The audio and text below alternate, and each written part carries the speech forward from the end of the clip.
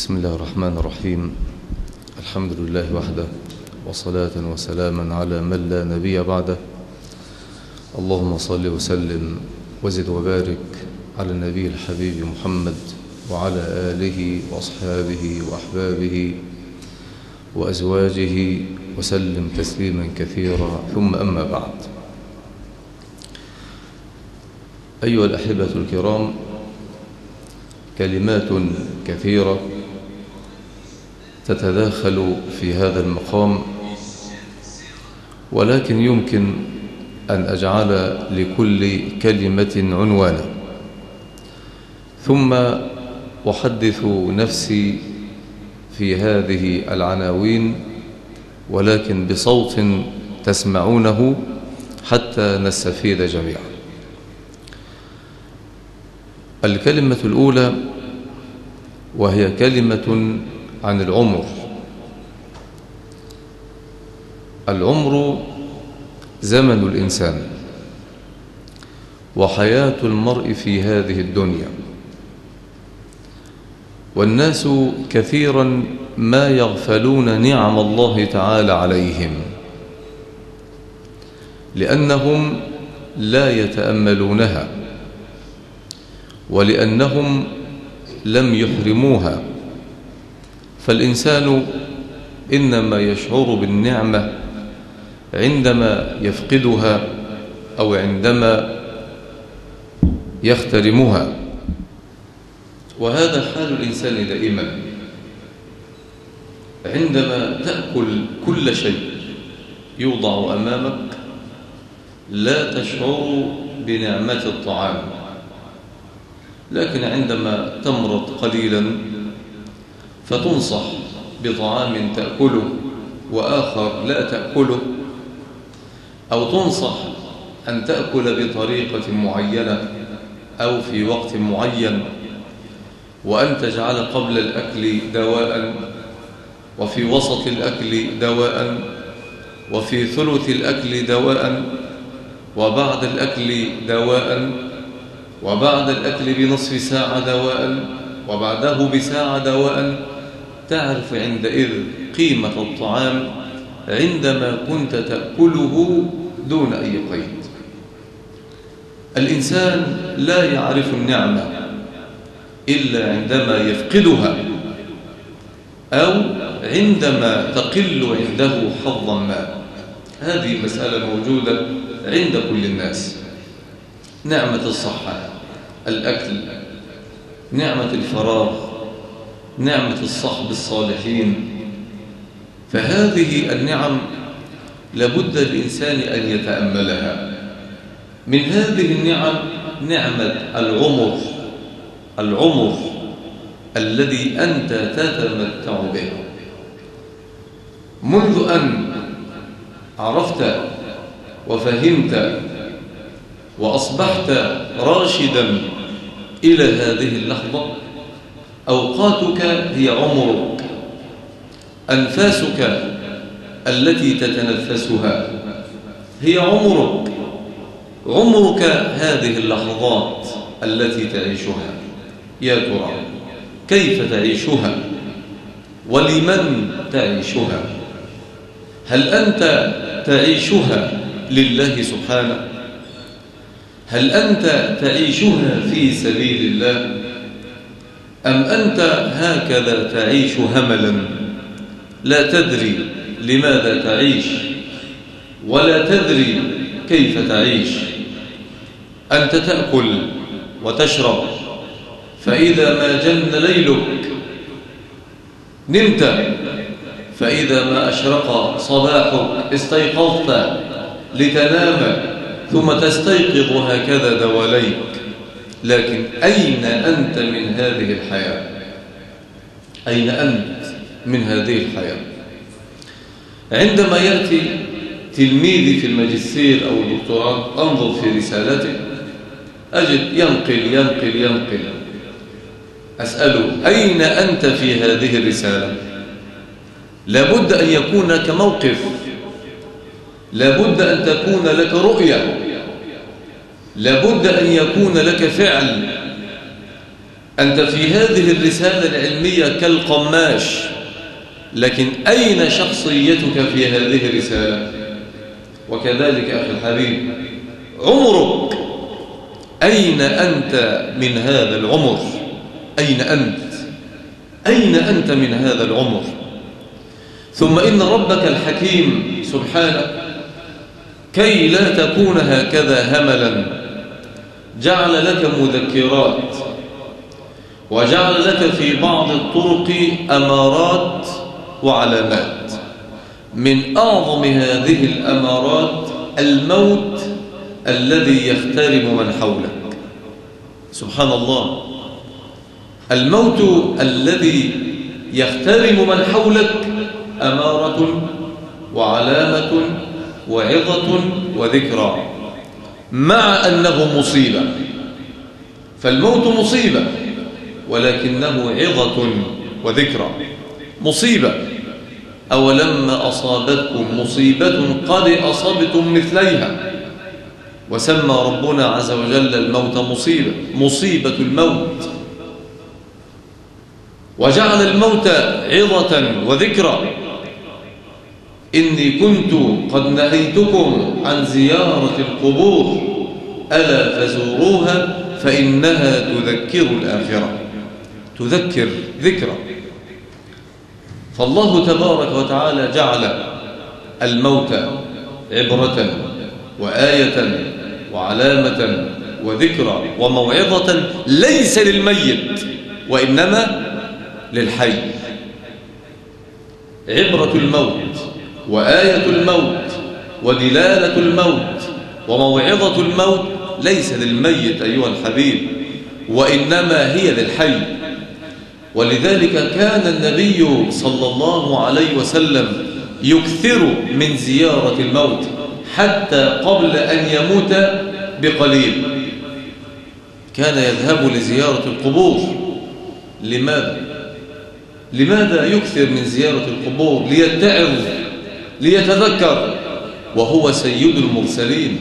غفر له ربه ما تقدم من ذنبه وما تأخر. فالموت لنا نحن ليس للميت. الموت لنا نحن ليس للميت. بل كلنا يقول أنتم السابقون ونحن بكم إن شاء الله لاحقون إذا هم سلفنا إلى الموت. ونحن وراءهم ونحن وراءهم. فيا من أنت متأكد بالموت وأنه مصيبة نازلة عليك قارعة بابك. ماذا صنعت بعمرك؟ ماذا صنعت بعمرك؟ قف مع نفسك. واسأل نفسك لو أنك كنت في مكان ذلك الميت وأتتك رسل ربك ليسألوك. ماذا سيكون جوابك؟ فلابد الإنسان أن يعد العدة لهذه اللحظة الفارقة وهذه اللحظة الحاسمة التي لابد للكل أن يمر بها. إنك ميت وإنهم ميتون. وما جعلنا لبشر من قبلك الخلد أفإن مت فهم الخالدون كل نفس ذائقة الموت كل ابن أنثى وإن طالت سلامته يوما على آلة حدباء محمول ولذلك السؤال الساذج الذي يسأله الناس الميت كم عمره لو كان كبيرا لا بقول الله وحده. أما إن كان صغيرا وأسفا. لقد كان صغيرا. إن العمر كان أمامه ممتدا. كان أمامه الانتهاء من الجامعة والزواج وقبل ذلك الجيش والعمل والأبناء والذرية ليعمر وليفرح به أبوه وأمه. يا خسارتان أما إن كان كبيرا لا بأس. سؤال سابق هل كان صحيحا أم مريضا؟ أيضا سؤال ساذج لأن الموت إنما هو بقدر الله.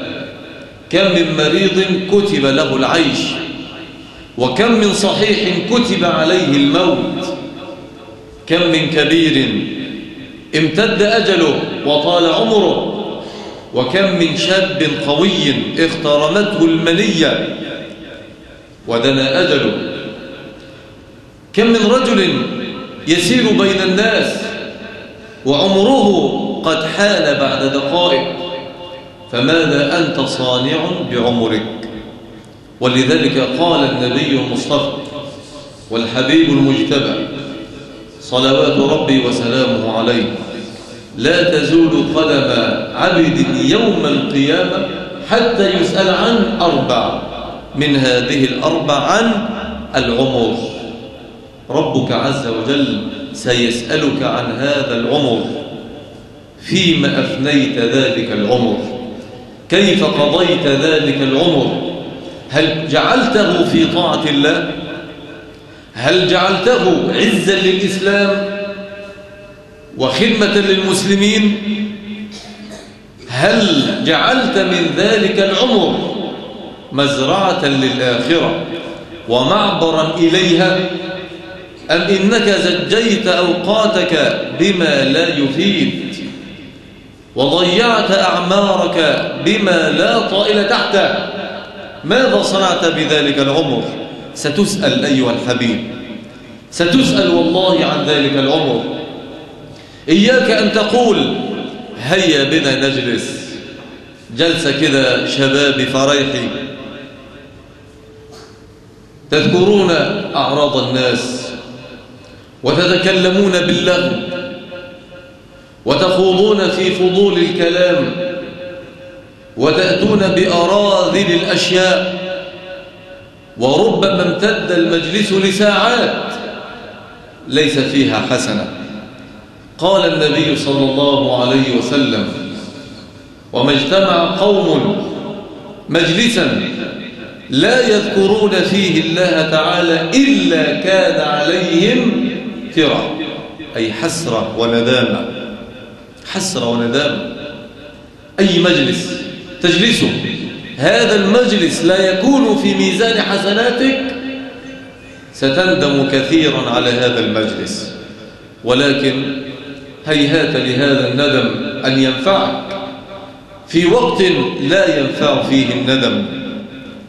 إن الرجل الذي كان يكذب بالبعث ويقول إن هي إلا حياتنا الدنيا نموت ونحيا وما نحن بمبعوثين. وكانوا لا يؤمنون بالحساب بعد الموت ولا بالنشور بعد القبر. ولا بالجنة ولا بالنار. عندما يموت أحدهم ويعاين الأهوال تبدأ الأهوال في النزع الأخير من الروح. يرى مقعده من الجنة قد استبدل بمقعده من النار. يزداد حسرة وندامة. ثم بعد ذلك يدخل القبر. تختلف أضلاع. ويعذب عذابا شديدا. عندما يرى الأهوال يقول رب ارجعون لعلي أعمل صالحا فيما تركت. في الدنيا ضيعت الأموال والأعمار في غير طاعة الله وظننت أن تضييع الأعمال في غير الطاعة شطارة وجنتلة وبحبوحة. ورجل اجتماعي. عندما يرى الأهوال رب ارجعون. لماذا؟ لعلي رجاء. أعمل صالحا فيما تركت. خلاص سبحان الله. يعمل صالحا في دنياه لكن انتهى الأمر. فيكون الجواب كلا. إنها كلمة هو قائلها. كلمة لا يلتفت إليها. هذه الدنيا جعلها ربنا عز وجل لك جعلها لك وسخر ما فيها لك كي تعبده وتعظمه وترفع دينه وتنصر دينه جعل ربنا عز وجل لك الدنيا لتجعلها معبرا لك للآخرة. الدنيا دار التكليف. دار التكليف العمل والتعب. فإذا ما مت انقطع التكليف ليبدأ السؤال. بالضبط. كالطالب عندما يدخل لجنة الامتحان يمكن أن يفتح الكتاب ليراجع إجابة السؤال؟ يمكن. ده لا يمكن. خلاص انتهى. يترك الأوراق والكشاكيل والكتب خلف ظهره ويدخل إلى الامتحان بما ينفعه. المذاكرة التي ذاكرها سبحان الله أنت تعد العدة لامتحان البشر ولا تعد العدة لملاقاة رب البشر. مسألة عجيبة. الأعمار تنتهي وتتفلت. والإنسان يروغ من ربه وتهرب من ربك ولكن هيهات إلى أين؟ تهرب من ربك أيها المسكين إلى أين؟ إلى أين؟ سبحان الله أنفاسك أوقاتك حياتك عمرك نعمة من الله عز وجل. وجعل ربنا عز وجل الموت آية. كما جعل الحياة آية. وآية الموت أشد. الذي جعل الموت والحياة ماذا؟ ها؟ ليبلوكم أيكم أحسن عملا. هذا عند النظر وعند التدقيق وعند الاعتبار. ولهذا كان السلف من أحرص الناس على أعمارهم من أحرص الناس. على أعمارهم ولهذا كانوا يقولون من حافظ على وقته اللي هو العمر كان الوقت له وقت. ومن لم يحافظ على وقته كان الوقت عليه مقت. والسؤال ماذا تصنع في حياتك؟ هذا هو السؤال الذي يجب أن تقف فيه مع نفسك. هذه الكلمة الأولى أيها الأحباب.